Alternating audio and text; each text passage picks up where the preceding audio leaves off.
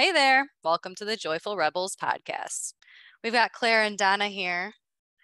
And I want to know are you signed up for our YouTube channel? Do you subscribe? Because I just want to say really quickly we are putting up new videos once, twice, three times a week.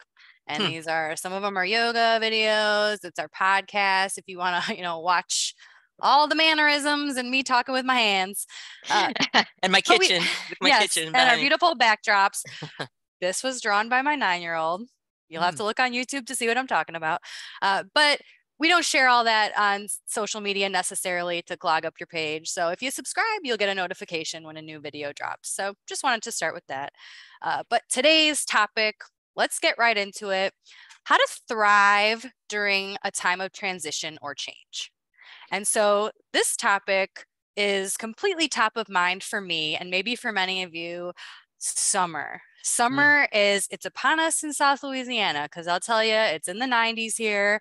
My kids got out of school. They've already been on summer break for a week, which just feels kind of crazy for me because it's the middle of May. But uh, whether we're ready for it or not, that change is coming. And so, also a little bit of a disclaimer I mentioned summer break, all three of my kids are here. So, you know, if you're listening to us in the podcast or if you've seen the videos, uh, I'm not in some, you know, soundproof room, you know, with fancy equipment or anything like that. You know, this is real life. So if you hear stomping or shouting, you know, that's it is what it is. But, you know, still enjoy and love having these conversations with y'all. So, that is why it really felt we've talked about doing an episode about change for a while now right? And how we just want to talk about you know we say different seasons of your life are going to require different things of you. Everyone is going to go through these ups and downs and so let's talk about it. How can we thrive through change? So what did i miss mom? Or what, what is important to you or why should we care about addressing and talking about change? Yeah that's a great point in in to start with because I think I've lived a whole bunch of my life just trying to muscle my way through a change, and then I can look in the rearview mirror and make sense of it. So this feels different from a strategy standpoint to recognize it while I'm in it, which wraps um, eh, um, understanding around it in the time instead mm. of just feeling uh, for me i feel out of control during change that's one way that i interpret it although uh, in a few moments we'll talk about and give it a different name but that's how it is felt in the past and when i realized that change is not a matter of if it's when I mean, that's really it. I mean, it's going to happen.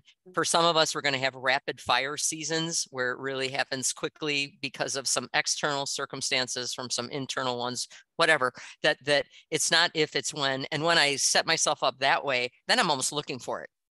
And and that is then it's not to be feared. It's this thing that's going to happen and it's got a place in our lives. Often it takes us to another uh, season or or adventure that uh, all has good points in it. So I, I am less afraid of it, although I'm not going to lie that there's I have trepidation about it. I'm like, mm, here we go, we're changing again because I like my comfort. I do.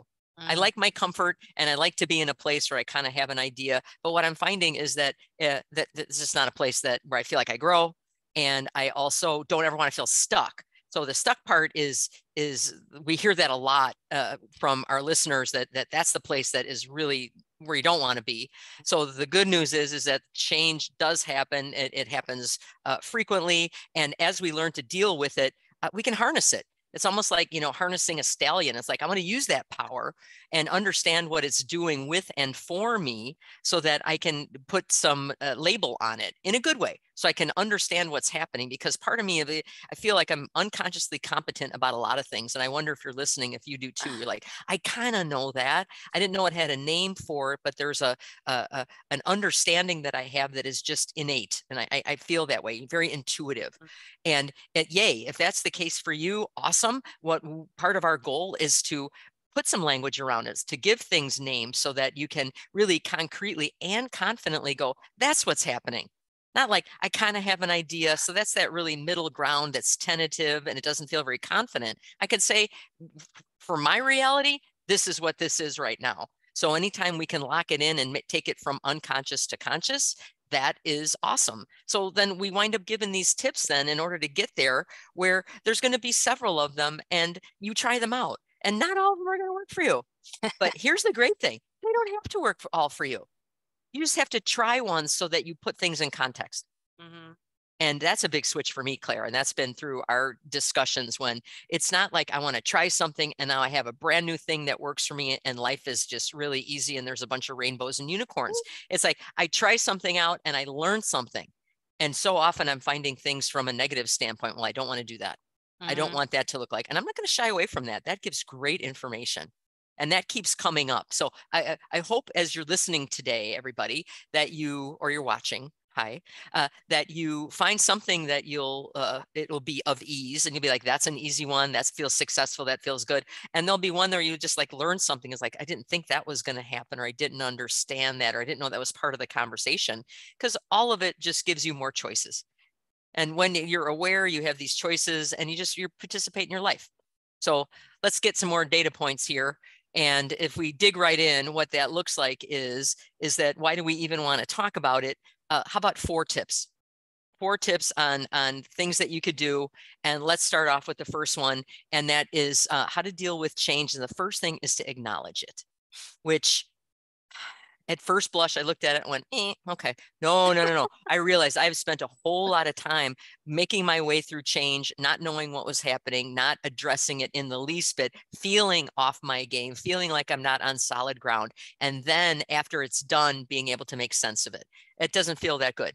It doesn't because what we realize now and this is research backed is that if we acknowledge it and we give it a name uh, it, we can reduce the stress that comes along with it because change basically equals stress and denying it ups it like mm-hmm. denying it and the story that really there's a million of them and i you know as as you get into a topic you're like oh this this this all the light bulbs go on and they do for me for sure but i had a huge one in my professional life when i was with this company for a long time and they would go from public to private so they would sell it in order to get uh, more resource resources to expand so not inherently evil by any stretch but the messaging was as a leader we would hear like it's it's being sold so we're going from private to public so now we've got shareholders. Nothing will change. And i remember being like okay okay let's go. I'm like there's no way that nothing would change when there's a big change in the structure of the company. And i remember like changes were happening and i was like treading water and i wasn't i wasn't feeling good about any of it. If somebody would have said look it's going to be rough for about two months like we got to change you know it's it, it, might look like this or this. Ultimately the heart of the company is still there but there will be some changes here you guys. Just it's inevitable. I think i would have handled it differently mm. and I, I just was blindly like okay it's going to be the same. No it wasn't and it cost a lot of stress that looking back was really unnecessary. So i guess i what i found out is i'd rather have the truth to be able to deal with the choices that were reality based instead of fantasy and and intangible mm. uh, then uh, and then trust there's more trust in that whole process than me denying myself what i was feeling. Because again we don't want to do that to our kids right? You want you're having a feeling we're going to honor that we want you to trust your gut. Um, it happens all the way through our lives depending on what system we're in where you have a feeling and and if it's not um, encouraged or it's not, you can't talk about it, or there isn't truth in the situation, then we doubt ourselves. So I don't know if we're anything alike, but um, doubting ourselves isn't a great place to be because there's this huge inherent wisdom that's in here. But we live with other people and other systems. So I'm going to do my best. And Claire, I'm guessing you too, that when somebody's in our realm, we're going to talk to them about the truth. We're going to honor their feelings. And so then they get the chance to make it through their changes and transitions with the least amount of stress because your body will react to stress. And that is a fact. It's a fact. And not all stress is bad, but it can be. So so part of it is is being able to acknowledge that changes is here and like this is a season of change. Then it just puts me like I'm a little more strategically agile then I'm like okay, something's going to be different. And then it also allows me in that same topic area there to reframe if I need to. Like things can be different, but what's going to be better? Mm. How are mm-hmm. things going to be different? If there's changes that are coming, can I influence some of the changes? Because when there's chaos, there will always be opportunity too. So reframing for me allows me to be a player in the change instead of just having something happen to me. So the first thing is to acknowledge it so that we can decrease the stress and then also help to reframe it to be a player in the change and what that looks like on the day to day, whether it's mentally, physically, or all of it. So first things first, acknowledge. What else you got, Claire? Yeah, and I just want to uh, kind of piggyback off that that uh, it is easy or I understand that feeling of wanting to be in denial about it because when you address change, it becomes real. Right. Mm. And sometimes we want to live in that, like, oh, if I don't shine a light on it, it's not there. And we've talked about that with shadow side and inner voice before. I'm just going to try to ignore it.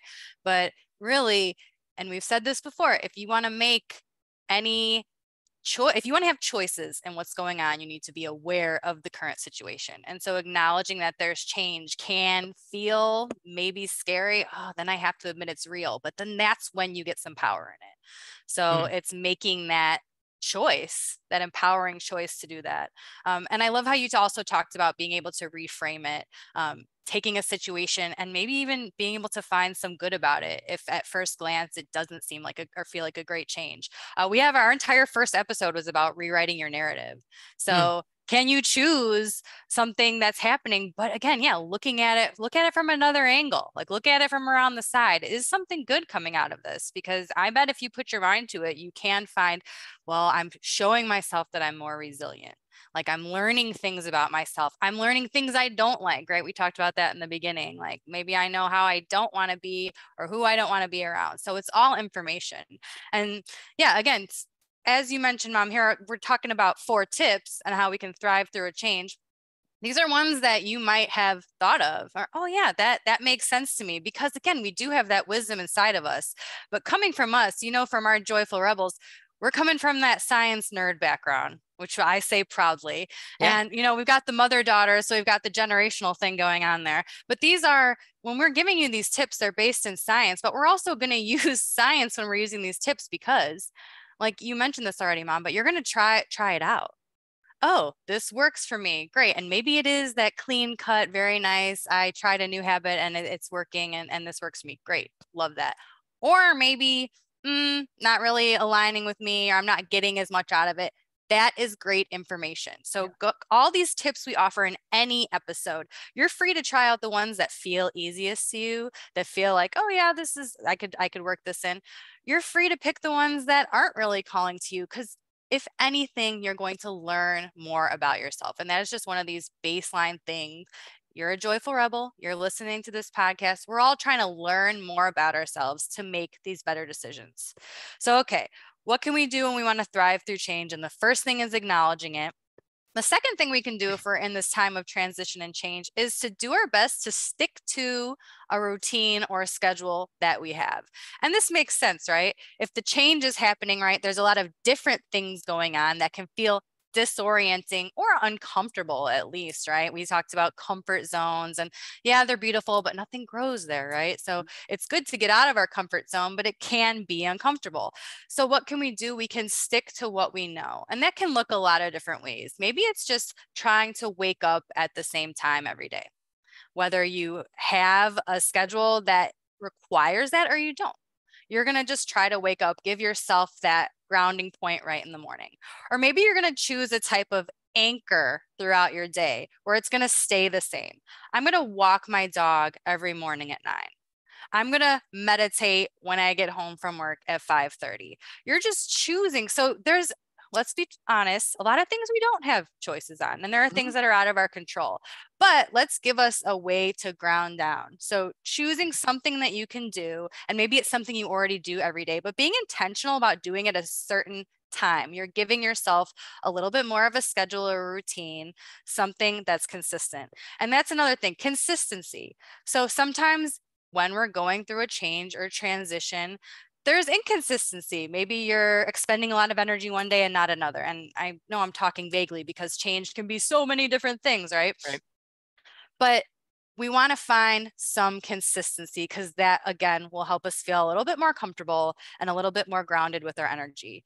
And one final thing that we can do if you're dealing through with a transition and you want to stick to a routine or schedule is maybe even just writing down the main points that you've got in your day so that when you've done something, oh, I walked my dog, oh, I made the kids lunch, oh, I dropped that package off, oh, I sent this email I needed to, you can check it off. Like, look at me, even with all this other stuff going on, I am still doing what I need to do. And you can break down things you need to do into little bite sized chunks and tasks. Because again, when we're able to write this down, we accomplish it, we check it off, we're getting that feeling of accomplishment. Hey, I did that. And that can help you build that momentum in your day. I can do this, I can handle anything. Look at me going through my day, dealing with these things maybe out of my control or these things that are different. And I'm still going to get through what I need to get through. So, the first thing we can do is acknowledge changes happening. And the second thing we can do is do our best to stick to a type of routine or schedule, how that makes sense for you. What do we hmm. think? Mm. As you're speaking, it, it inspires me that it also uh, quiets down the all or nothing when I get into change. When I can keep some consistency with a couple of keystone habits, then I feel like I do have that anchor. There is something that's feeding me in a way that feels significant. And I have a little bit more in the tank to roll with the changes that are happening and mm-hmm. to be present when uh, that does feel kind of uh, it can feel out of control in lots of different ways but this is just one place where i feel secure. I, have got I've, I've, got this thing that i've already done that makes me feel a certain way and it, it feels familiar so there's there's comfort in that familiarity when most of the rest of the things are going to be not very comfortable mm. influx shifting and all of that. So again there, there's a balance. So it's it's breaking down and dismantling the all or nothing thinking in another way which I, I'm always looking for that because it shows up in so many different ways for me that all or nothing that I I laugh when I see it, but I'm like, here we are again. And here I'm going to practice something over to the left when actually it's helping in other areas as well. So I do love that when we look at our uh, at different topics, there's a lot of crossover because we are interconnected beings. So we are integrated in this, and I, I, appreciate the integration of that. So I I look for ways that it helps me over here, but also over there. So, uh, and so even if you're not in a season of change, uh, sticking to a routine and having some some mm. regular things to count on is not horrible. You know, you're creating consistency. So, you know, again, it works on a bunch of different levels, and so we're we're finding ways to be consistent we're acknowledging what's happening. Uh, a third way, another umbrella, is to either sit with your feelings or sweat them out. And I love the uh, the bookends of this because there's lots of different ways to uh, help with your help your nervous system handle it physically be in touch with your body. Claire and I are both athletes. We're both yoga teachers. And so I do identify with moving.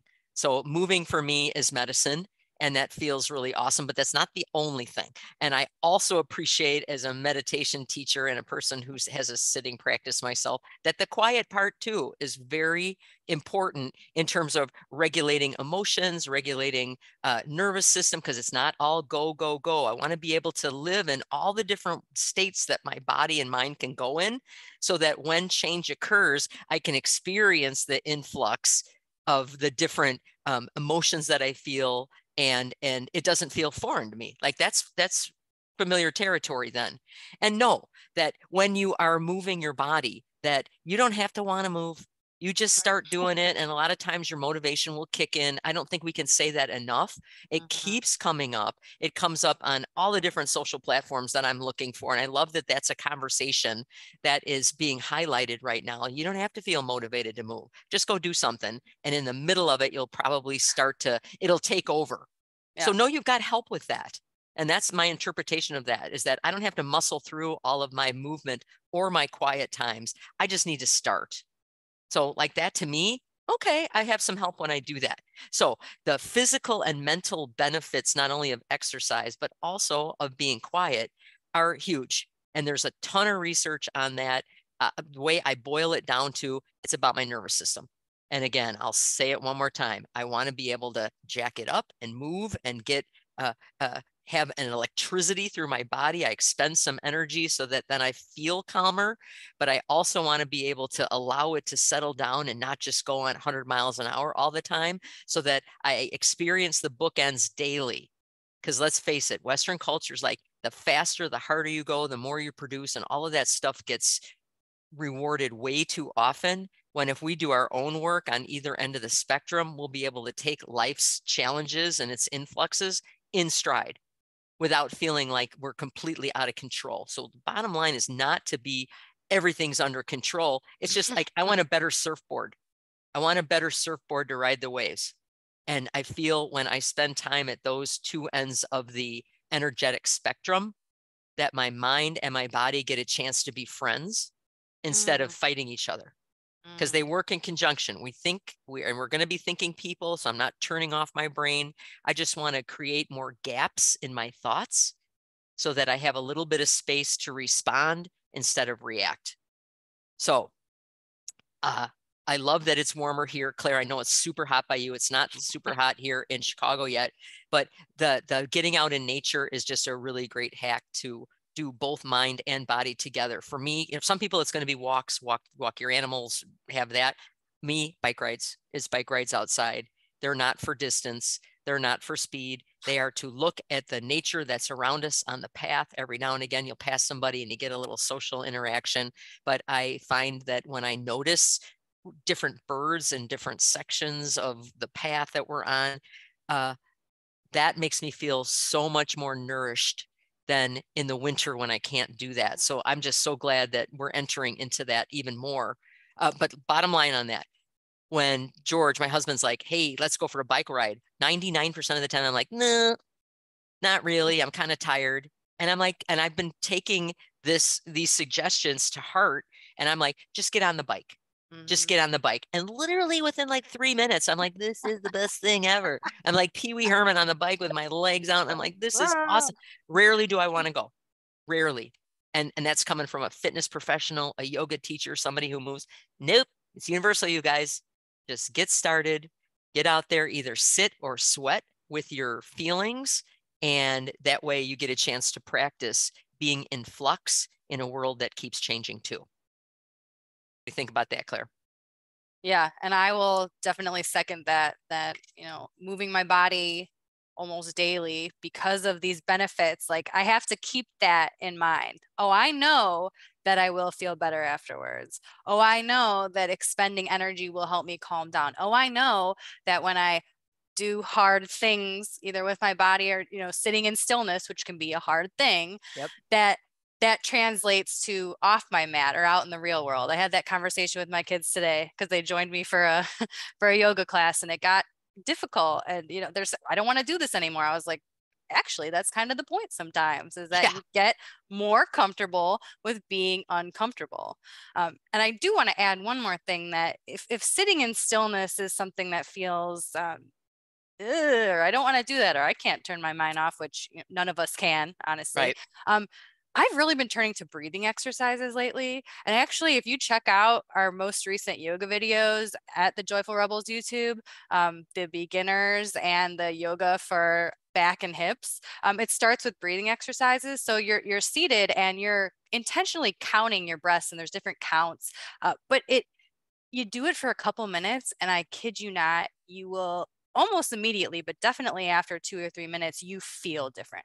Like your heart rate lowers, yeah, it, it affects your nervous system like on a physiological level, like whether you want to or not. So again, even if you go into it like, I'm not into it. If you follow through and do it for two, three minutes, you will feel differently. So uh, sometimes when we're dealing with these transitions or changes, like we said, inherently there's stress involved. One way to manage that stress is to take a few minutes and do a breathing exercise. And just try it if you haven't. Yeah. Like it really is, it's a tool I've now taught my kids. And I'm like, oh my goodness, like if all kids can do this. So, hey, if you have littles at home and it's summer break coming up and you need a reset button in the middle of your day, see if you can get them to do a breathing exercise for a few minutes. It, it's, it's a reset button for all of you. So, how can we thrive through our transitions? We can acknowledge the change we can stick to our routine and our schedules. We can sit with our feelings or sweat it out. And last but not least, we can find and lean on our support systems. So if you think about those that you interact with most or who you consider to be your circle, like, do they lift you up? Like, are, are you are you around people who are, you know, the feelings are more coming down, or are you around people who lift you up? Because we are all connected and we can use this connection to help to elevate us. So we're going to find those people in our group and we've had we've talked about this the past couple weeks as well being yeah. able to elevate our conversations and mm-hmm. what that can do for us energetically and emotionally mentally so when we do reach out and like you said mom it's not like the people that are in our circles are with us every second of the day. I don't know if you said it on the podcast or in our meeting before, but it's not like they're there all the time. So we do need to catch up with people. We want to tell people about what's happening with us, and we can get benefits from that. And the first thing that we can get is some emotional support. Like, yes, what you're seeing and feeling is real, right? We said mm-hmm. when we acknowledge the change, we're saying something's real.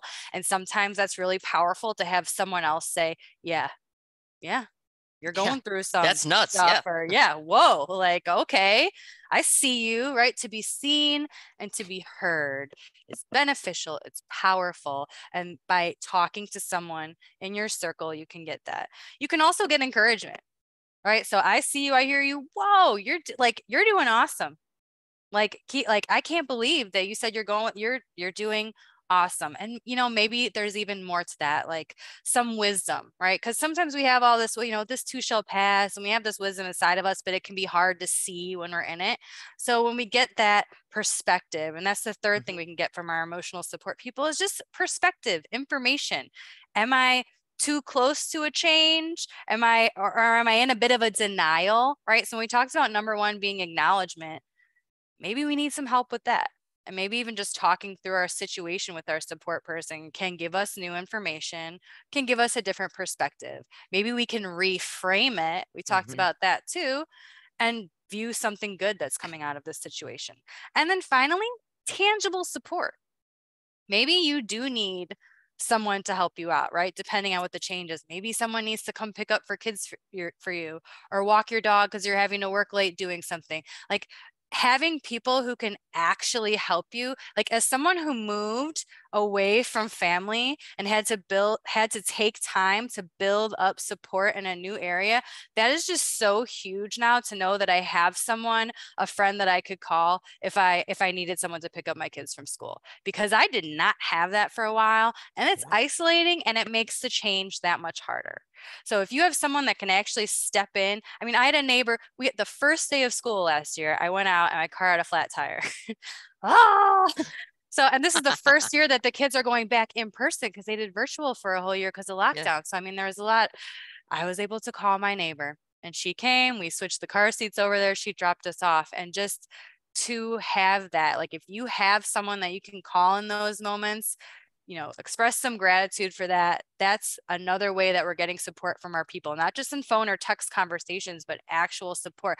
And knowing that sometimes that's hard to ask for help. And I was talking to another neighbor about that. She had surgery recently and she didn't want to ask her daughter to come, you know, I can do this on my own. And finally she succumbed and said, Oh, and she was so grateful to have the help and it was just kind of holding up a mirror of like that sounds like me a lot of the time oh i can do it all you know we talked about imposter syndrome and how that shows mm-hmm. up as i'm superwoman and i can do absolutely everything and overachiever asking for help right help yourself a little bit get that help from your support systems and a lot of times it's a two-way street because i'm guessing that your friends want to support you and they're going to get a benefit out of being able to support you too and the last thing I'll say about support system, your your people, your social support is venting is a thing that happens. And we've said this before, and there's a time and a place for it. And it can feel good to talk about the difficulties that you're having if you're experiencing discomfort in your transitions and change.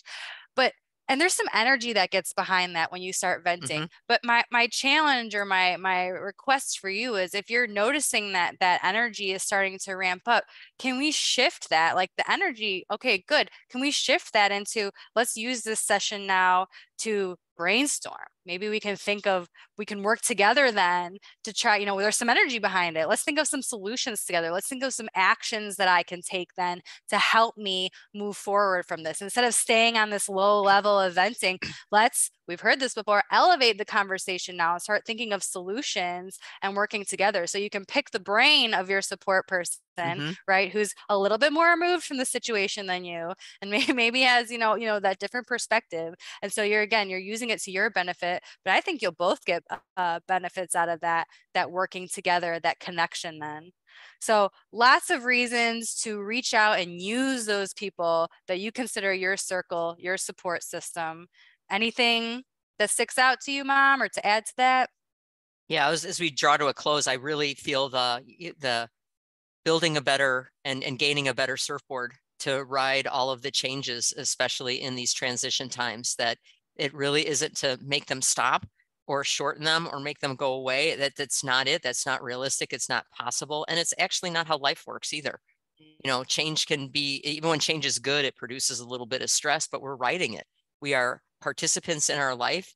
And I think the biggest point that you made that that I heard, Claire, was the the connection piece that when we're connected with whether it's our neighbors whether it's it's friends whether they're new friends like you get new friends like look for those look for the surprise friends in unexpected places and when we are connected where we can accept help when we can offer help when we can be there to be the ventor or the ventee or which is not a coffee thing um, but you know just to to and to encourage each other to um, use whatever energy you're developing to be solutions oriented to uh, acknowledge what's happening but not you know unpack all your stuff there. Like there's there's just a time and a place for all of it and we we ride together but we ride together because we're aware and we have choices and the more we take a look at these things and find ways to uh, to look at like where where do i struggle in this right now? Like just look at right now. We're always looking at low hanging fruit like where are you right now? What is the one thing you could take away out of the four that we talked about and you're going to look for them this week. Like where would that show up? And you try a couple of different ways or just notice acknowledge maybe you already have keystone habits that you're really consistent with. Give yourself some credit wins mm-hmm. journal like mm-hmm. just acknowledging like i'm already doing some of these things. That's not a hollow victory. That is a conscious decision to celebrate something that you're doing because it's so easy for us when we're competent smart capable to just say that's just how life is. Nope. That we are uniquely made. We do a great job we are thinking people we'll use that to our advantage we'll regulate our nervous system we'll stay connected and whatever changes come about we'll just ride those waves we'll make it on the other side and then we'll just wait for the next wave to come because that's how life is. So until next time rebels you keep living your lives being turning your awareness light on being as awesome as you are taking care of yourself and each other and we'll reflect on this next week. Cool? See you next week